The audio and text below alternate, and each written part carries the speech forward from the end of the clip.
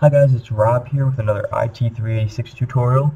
And as promised in the last video, I'll explain to you what soft selection is. So soft selection is when you, so it's not a rigid selection. So with normal selection, when you select a face or something and you start to pull it out, uh, that whole face is being pulled out. But soft selection is a method of selecting geometry in sort of a more organic way. So when you select, it has a different uh, influence depending on how far away from the selection you get.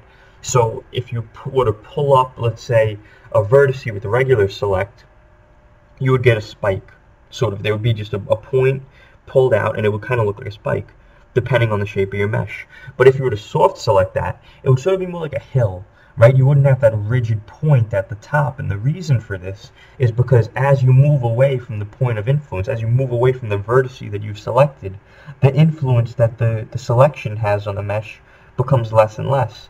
So this is useful for making curved objects or objects that, you know, are rounded.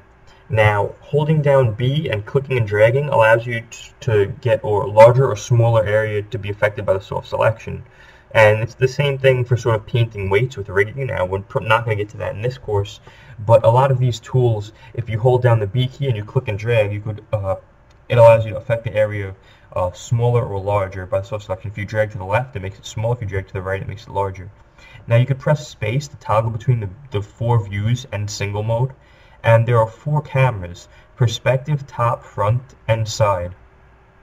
Now if there's white edging around a view, it means that you have the camera of that view selected. Tumbling is basically changing your perspective or rotating the view. Now to combine two objects, you would select both of the objects and then go to Mesh Combine. And there's two ways to fix an object's pivot. So one way is you could go modify and then center pivot, or two is click the insert key and hold V to snap the pivot to any point. Now NURBS are the equivalent of 3D vector lines. So sort of Photoshop, right, you have bitmap graphics. Uh, Illustrator, you have vector graphics. Well, sort of polygonal modeling is sort of like the bitmap, and NURBS is sort of like the vector graphics. Now, with Boolean difference, the first object you select is the one that remains. The second one is the object that gets cut out. Now, here's a bunch of selection hotkeys. Uh, I'm not going to go through all of them with you. I think they're pretty self-explanatory. Now, to select an edge loop, you would click an edge, and then shift double-click an adjacent edge to select that edge loop, or you could go to select edge loop. Now, before smoothing, you can add edge loops to maintain the volume of your object.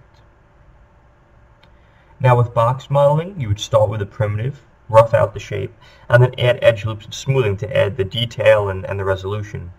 Now, rendering and render engines. So rendering is the process of developing your final quality image, usually for your portfolio.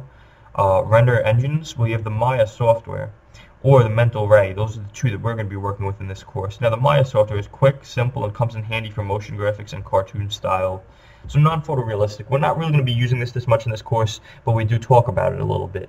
Now the mental ray takes longer to render a single image, and there's a lot more calculations done and much more realistic uh, with light and reflections, but it creates a photorealistic end result. So this is sort of, when you see one of those 3D renders and you're like, wow, this looks like it was created in real life, uh, this is like one of the render engines that's actually used. Whereas the Maya software, you could kind of tell that it's it's sort of fake. Sort of like when people, uh, some people are so good at photoshopping photos that you'll be like, wow, you won't even know the difference. Like, you know, you might you might think something's wrong, but you're like, this really looks real. And then some other people when they do it, you're just like, wow, that was Photoshop, that was airbrushed.